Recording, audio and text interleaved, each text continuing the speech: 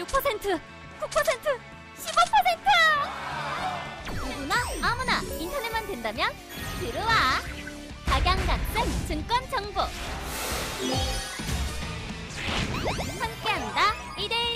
또 참여자들 얼마나 또 많은 종목들 샀을지 그 중에서 몇몇 종목 분석해 드리도록 하겠습니다. 매매 고수 두 분과 함께 하실 텐데요. 자, 헤르메스탁의 하창원 본부장 그리고 스탁솔루션의 이슬이 전문가와 함께 합니다. 안녕하십니까? 자, 먼저 이슬이 전문가 지금 롯데 정밀화학과 유일 에너테크 두 종목 보고 계신데요. 어떤 종목 분석해 주실까요? 일단 롯데 정밀화학 먼저 좀 보시면 좋을 것 같습니다. 오늘 화학주들이 대체적으로 조금 반등이 나오고 있는 상황인데 이제 조금 긍정적으로 저는 좀 보셔도 좋다라고 좀 말씀을 드리고 싶고요. 어, 사실 근데 화학주 같은 경우에 이제 그 경기 사이클을 많이 타다 보니까 투자하기가 쉬운 종목은 아닙니다. 그렇지만 이제 롯데 정밀화학 같은 경우에 지금 좀 매수 타이밍이 왔다라고 좀 보고 있고요.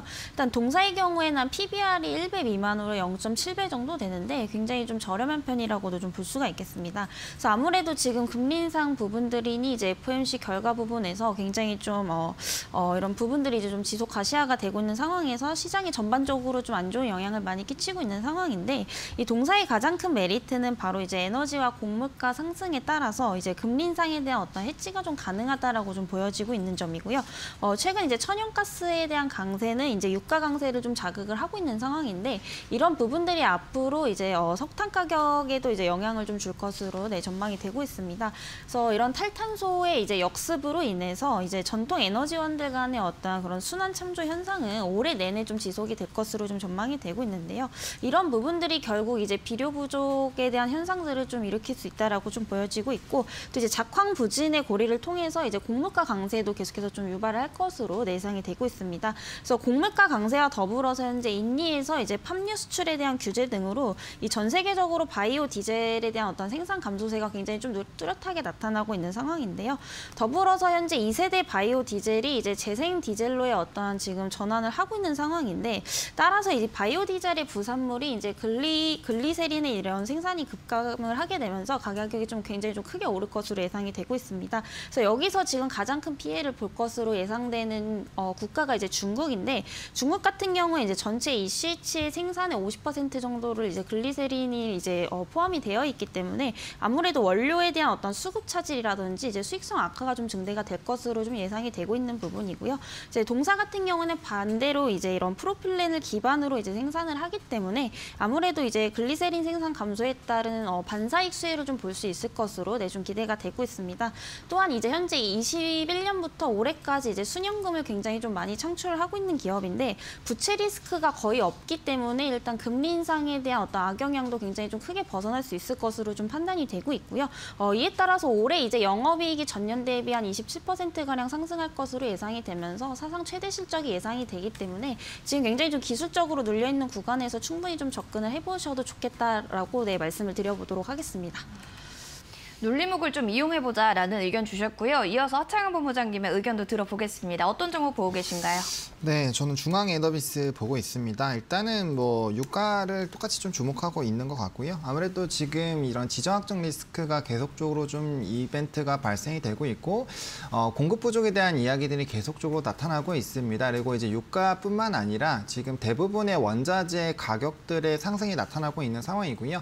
이러한 분위기들은 이제 인플레이션과 연결 이 되어 있기 때문에 한동안 좀 유지가 되지 않을까라고 보고 있는 상황입니다. 그래서 지금 러시아와 미국의 이런 갈등 갈등이 점점 강화가 되고 있는데 관련된 부분도 아무래도 좀이 어, 시황에는 좀 업황에는 좀 긍정적으로 좀 작용하지 않을까라고 보고 있는 상황이고요. 다음 JP모건에서 이러한 좀 갈등이 길게 유지가 된다라고 했을 때 유가가 150달러까지도 올라갈 수 있다라고 좀 전망을 했습니다. 그러니까 지금 100달러만 넘어가게 되더라도 와 이거 엄청나게 올라가는 건데라고 하는데 150 배럴달 150달러까지 넘어가기 때문에 지금 전망 자체가 굉장히 좀 높게 형성이 되어 있고요. 어, 또 이제 소비 자체가 늘어난다라는 관점으로 지금 시각들이 점점 바뀌고 있기 때문에 관련된 수요 회복들이 본격적으로 나타난다라고 했을 때 수요는 점진적으로 계속적으로 좋아지는데 공급에 대한 이벤트가 어, 계속적으로 좀 부각이 될 수 있겠다라고 보시면 좋을 것 같고요.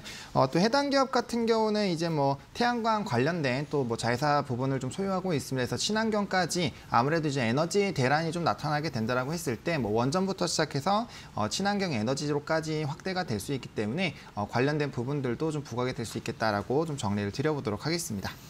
네, 중앙 에너비스에 대한 분석 좀 들어봤고요. 그리고 전망까지 좀 저희가 챙겨볼 수 있었는데 또 한 종목 CGN도 보고 계신데 CGN이 지금 지난주부터 해서 좀 급등력이 좀 보여지고 있습니다. 오늘 4%까지 오르고 있는데요. 좀 네. 분석 좀 부탁드릴게요. 네, 지금 진단 키트들도 좀 관심을 많이 받고 있습니다. 제가 저번 주에는 GH 신소재를 좀 소개를 드렸었는데 아무래도 코로나 확진자 수가 늘어나다 보니까 관련된 부분에서 이제 뭐 음압병동이라든지 진단 키트에 대한 수요가 어, 크게 늘어나고 있다라고 보시면 좋을 것 같고요. 시젠 같은 경우는 증권가의 긍정적인 좀 리포트도 나왔습니다. 그래서 목표가 상향에 대한 이벤트들도 나왔고 어, 사실 이제 진단 키트 관련된 종목군들이 어, 이제 실적에 대비해서는 사실은 조금 저- 주가들이 많이 좀 눌려 있는 상황입니다. 아무래도 이제 이런 코로나19에 대한 상황들이 얼마나 지속이 될 것이냐, 그리고 아무래도 초기 단계보다는 점점 단가라든지 이런 어, 이제 영업이익 부분에서 조금은 어, 좀 타이트한 부분들이 있다 보니까 어, 관련된 부분에서 좀 우려가 있는데 사실 실적에 비해서는 좀 아직까지 많이 눌려 있다라고 보시면 좋을 것 같고요. 또 휴마시스도 오늘 엄청나게 대규모 또 공급 계약이 체결이 됐는데 그러한 움직임들이 계속적으로 좀 나타난다라고 한다라면은 또 진단 키트도 한번 어, 다시 좀 반등 흐름들이 나올 수 있지 않을까라고 보고 있습니다. 그래서 이런 코로나 확진자 수가 일 평균 7천 명이 넘어가는 흐름들이 유지가 되는지 그리고 이에 따른 이제 이런 PCR 검사들이 계속적으로 좀 나타나고 있기 때문에 뭐 관련된 부분들 좀 체크를 해보시면 어, 좋겠다라고 정리를 드려보도록 하겠습니다. 네, 시젠 지금 외국인과 기관의 수급도 양호해 보이는데요. 지난주 19일부터 해서 계속해서 오르고 있습니다. 자, 시간 조금 남아 있네요. 이수 전문가 간단하게 유일 에너테크 또한 분석 잠깐 해주실까요? 네, 일단 이 종목 같은 경우에는 이제 뭐 SK 이노베이션의 협력사라고 보시면 되겠습니다. 최근에 이제 2차 전지 어, 장비주들 간에서 굉장히 좀 성장의 어떤 한계를 맛보고 있는 상황이기 때문에 아무래도 지금 장비 쪽 말고도 굉장히 좀 여러 사업을 다각하는 기업들을 좀 보셔야 된다라고 좀 판단이 되고 있고요. 유일에너테크 같은 경우에 이제 앞으로 폐배터리 사업으로도 또 진출을 많이 다각하고 모색을 하고 있기 때문에 이런 점들이 앞으로 이제 실적 견인을 좀 해줄 가능성이 높다라는 점에서 좀 지켜보시면 좋을 것 같습니다.